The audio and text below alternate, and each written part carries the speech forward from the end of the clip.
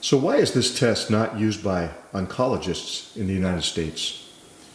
Well, there's probably many reasons, but there are some similar tests being looked at and, and trying to to do those do a similar type test, but most of them are using the test on tumors rather than blood because there's unique things you need to do in a certain way. You, uh, from what I understand, you need to do this so you, you're able to use those cells and find enough of the cells in the blood to make it worthwhile to, to be able to grow them and so forth. But to make a long story short, there are people looking at similar things, but they're trying to do it off of biopsies of solid tumors. And we find it best overall to use the blood, especially anytime that we can to use the blood.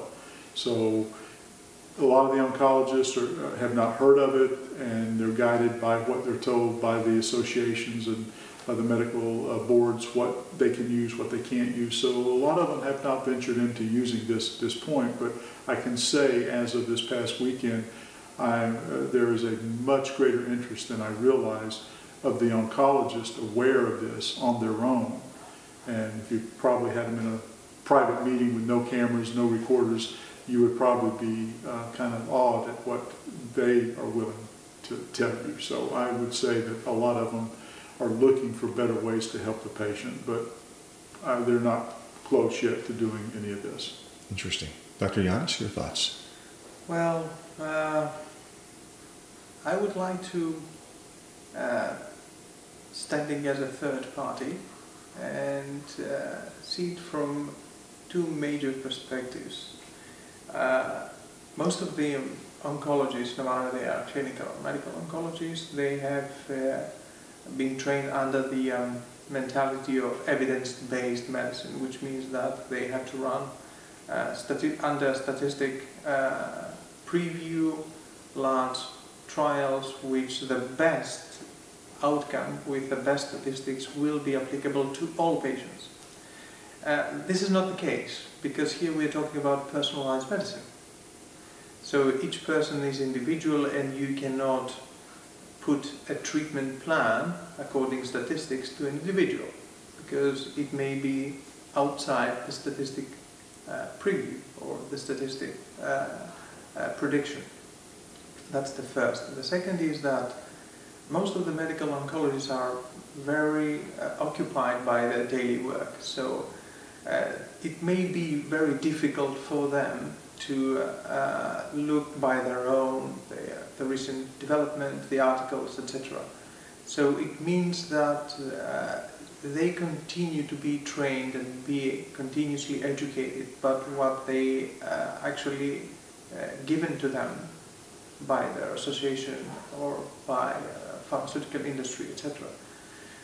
Uh, which makes them to be uh, much more rigid to make choices for each individual. Uh, on the other hand, uh, now that uh, for different reasons, evidence-based medicine has many problems to deal with this plurality and these dy dynamic features of cancer, uh, we notice that slowly we have a shift of interest from uh, uh, the medical association, from the pharmaceutical industry to more personalized treatment. So we have a hope that slowly we will have a focus to uh, personalized medicine. This is where all these tests uh, comes to a point which they become very interesting to oncologists. But we are not there yet. We are in process, but we haven't reached that point. So uh, what happens in reality is that uh, the test that they are already uh, existed, or the test approach, either they use as uh, the primary material to obtain all this information, the primary tumor, which uh, if we see what happens in clinical reality, patients actually uh, die from metastases and not from the primary tumor, just because the metastatic points doesn't behave the same way like the primary tumor. And this is what reveals the dynamic features of cancer. So that's why we need to obtain all the necessary data from uh, these cells which they are going to generate the metastases. This is the reason why the circulating tumor cells and the cancer stem cells become very favorable and becoming the point of interest of the research community. So this is the one point. The second and the most difficult part is how you are going to obtain this uh, entity of circulating tumor cells.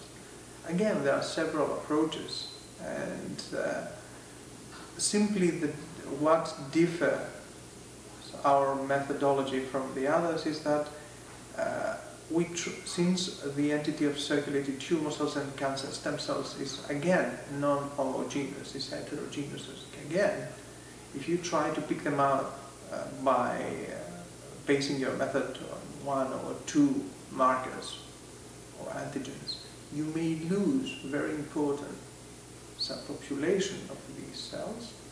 We preferred and we conclude that uh, what we call negative selection is the best method to subtract all the unwanted cells and whatever remains include all the heterogeneous population of circulating tumor cells.